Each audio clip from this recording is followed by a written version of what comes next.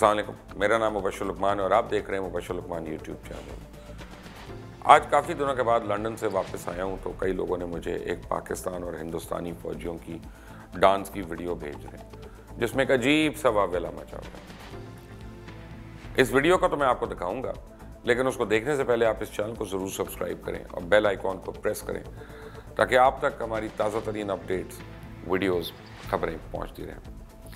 میں آپ کو بتاؤں کہ جیسا کہ آپ کو شاید معلوم ہے، یہ ففتھ جنریشن وار فیئر کا دور دورہ ہے۔ اور ففتھ جنریشن کا جو سب سے بڑا ہتھیار ہے، وہ ڈس انفارمیشن ہے۔ کہ آپ مخالف صفوں میں ڈس انفارمیشن کریٹ کرتے ہیں۔ اور اس میں جو ہے، انڈیا بھرپور طریقے سے ملوث ہے۔ اور ہم میں سے بہت سے لوگ ہیں جو نہ جانتے ہوئے بھی کبھی کبھی ان کا اعلی کار بن جاتے ہیں۔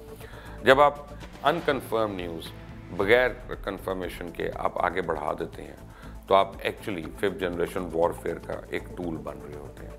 جیسا کہ آپ سب کو معلوم ہے کہ کرتارپور راہداری کے افتتاح کے لیے تمام تر انتظامات مکمل ہو چکے ہیں۔ اور آئندہ ماہ کی نو تاریخ کو اس کا باقاعدہ افتتاح ہونا ہے۔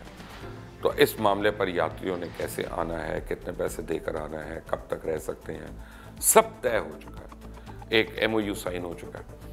اور اب وزیر اعظم عمران خان اس کے اس قدم کو پوری دنیا میں جہاں سراہا جا رہا ہے وہاں کچھ بیرونی طاقتیں، خاص کر مودی نواز طاقتیں، انہوں نے اس ہارمونی پر اعتراض بھی اٹھانا شروع کر دی اور جس کی پاداش میں آ کے اس طرح کی پرانی ویڈیوز کو اس شکل میں پیش کیا جا رہا ہے کہ جیسے افواج پاکستان اور بھارتی فوج جو ہے وہ انڈین گانوں پہ ڈانس کر رہے ہیں اور بہت خوش ہیں۔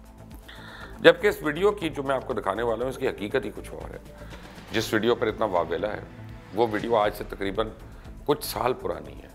اور یہ video S C O peace mission کی ہے، بلکہ میرے خیال ہے ٹو تھاؤزنڈ سیونٹین یا ایٹین کی ہے، جو کہ رشیا میں بائیس اگست سے تیس اگست دو ہزار اٹھارہ غالباً میں I am going to confirm the exact date but یہی مجھے آف اینڈ یاد ہے، اس وقت تک جاری تھی، جس میں نہ صرف پاکستانی فوج نے حصہ لیا، اس کے علاوہ سات اور ملکوں کی آرمی بھی وہاں پہ موجود تھی، اور یہ آخری دن کی ویڈیو ہے.